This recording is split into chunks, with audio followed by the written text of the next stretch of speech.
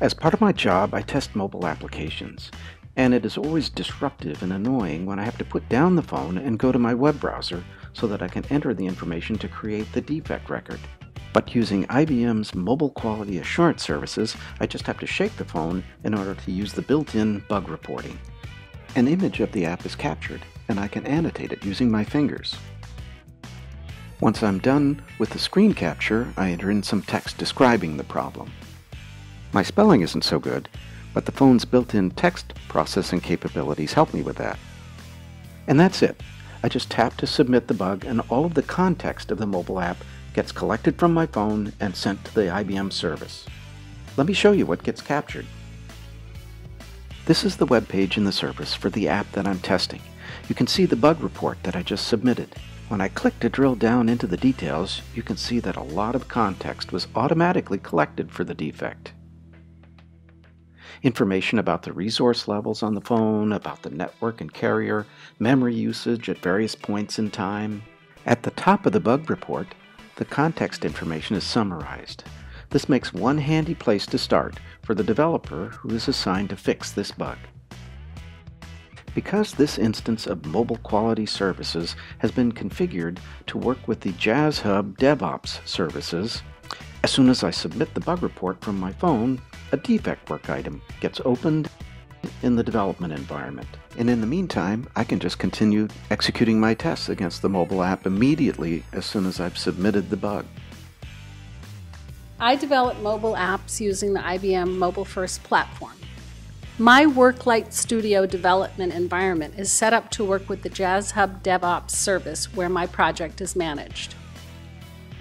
When the people testing my app find defects, they submit a bug report right from inside the app running on their phone, and I see that defect show up in the list in my development environment.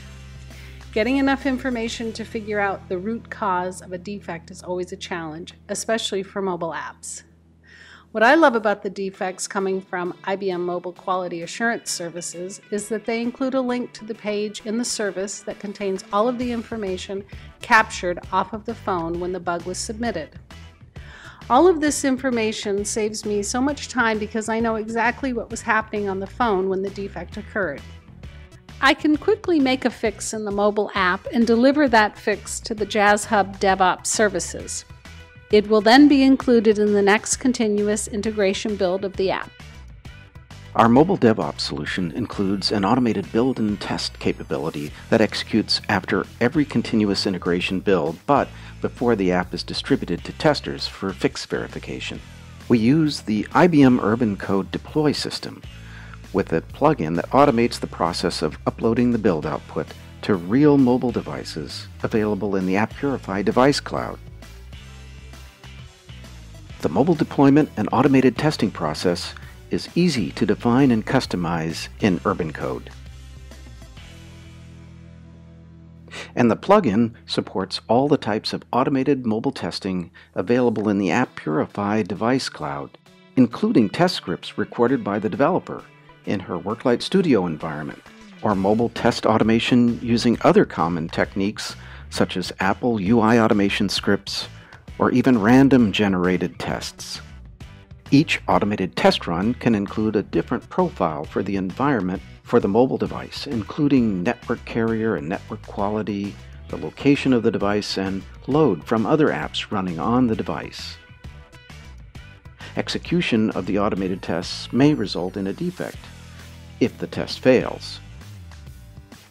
But even successful test runs produce very useful information, so all of the test execution artifacts are retained with links to them available in the UrbanCode logs.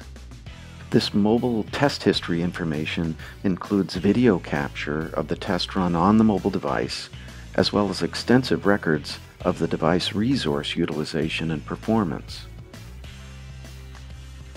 Developers frequently find this historical data useful to consult as they work to optimize the mobile app and its performance.